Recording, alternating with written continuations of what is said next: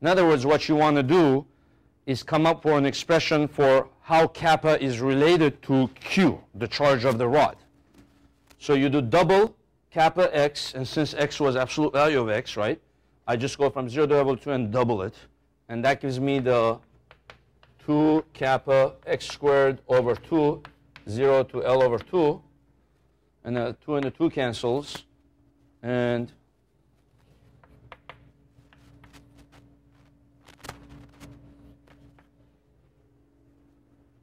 kappa L squared over 4. So that tells me whatever the constant kappa is, it's related to the big Q of the rod, the charge Q of the rod, as 4 times the Q divided by L squared. Okay, now put that in here. 0 to L over 2 kappa x squared over 2 x L squared over 4. So if I multiply, this is 4 times 2, that's going to be 8. K, Q, D times BQ divided by L squared.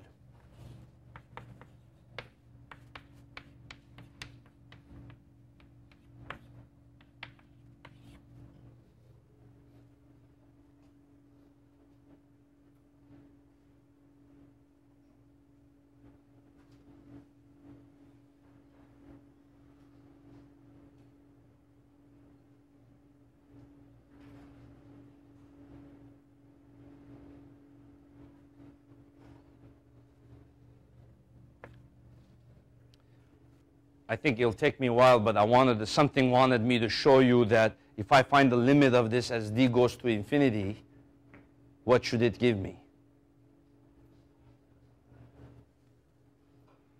What, should, what did the other one give me as limit d goes to infinity? kq over d squared, kq uh, little q, big Q over d squared, right? Try to see if you could do that on your own. Find the limit of this as d goes to infinity it'll take me, we kind of will run out of time. Uh, if you find the limit of that as d goes to infinity, it should be the same behavior as a point charge again. Whether or not the rod was uniform charge or non-uniform charge.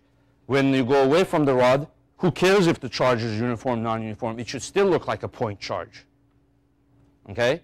So what you're going to have to do is expand this out, binomial expansion, eliminate all the higher powers of the d, keep only one power of d, combine it with that, and then you'll be able to show that it has the same behavior, kq little q over d squared.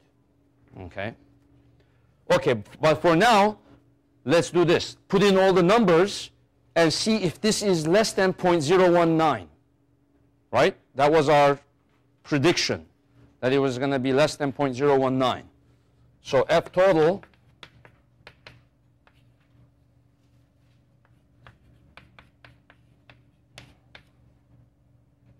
little q was, uh,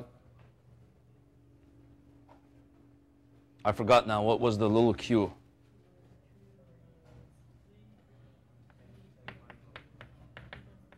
And then that one was 6 times 10 to the minus 6. And then the distance d was the 0.6, right? The length was 1 meter, so that one squared is just 1. And then over here,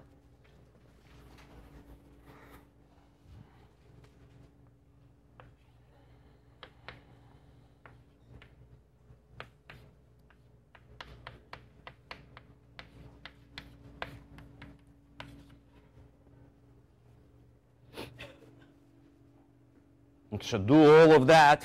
It's a longer calculation, but you should get a number less than 0.019. Let's see, I'll do it along with you here.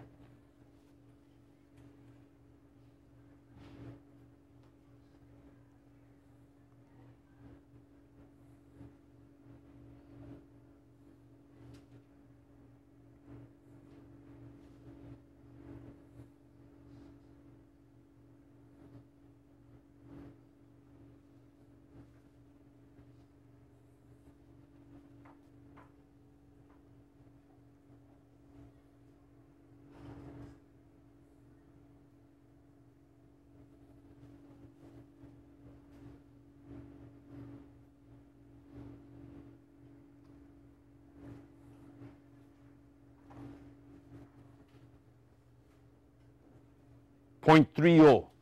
I got, wait, I get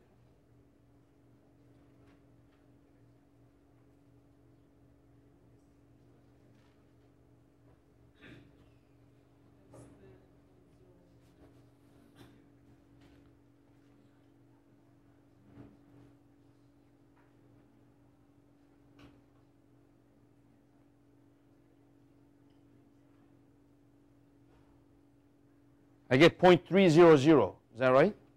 But the other one was what? No, something is wrong. One of them is wrong. You see? Therefore, one of them is got to be wrong. You know. Because our logic can't be wrong.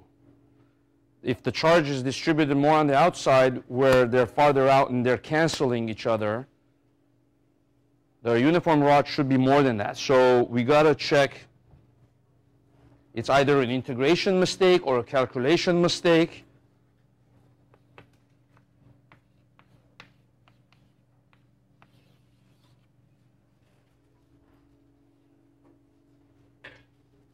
It can't be the non-uniform rod would be uh, where the charge was more on the outside would be greater.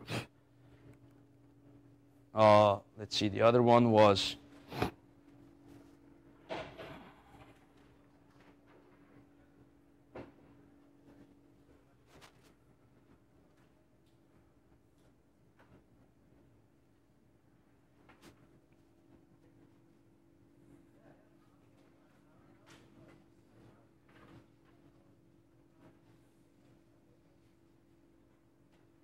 This is the uniform rod.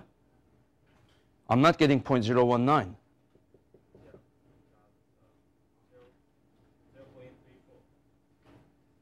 This one?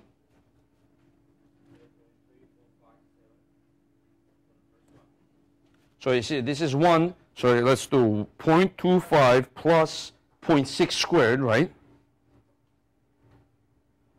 To the power 0.5 times d, which is 0.6, and then invert it times 9 times the charge was uh, 3 times 6, 0.345. Mm, yes! Ah, it's a little larger. See, that's what I want you to do on the test. I want passion. 0.300, 0.345. Yeah, the first one was wrong. Okay, it was just a mainly calculational error. Okay, so the uniform rod is a slightly larger than a non-uniform rod where the charge density is more on the outside. Perfect.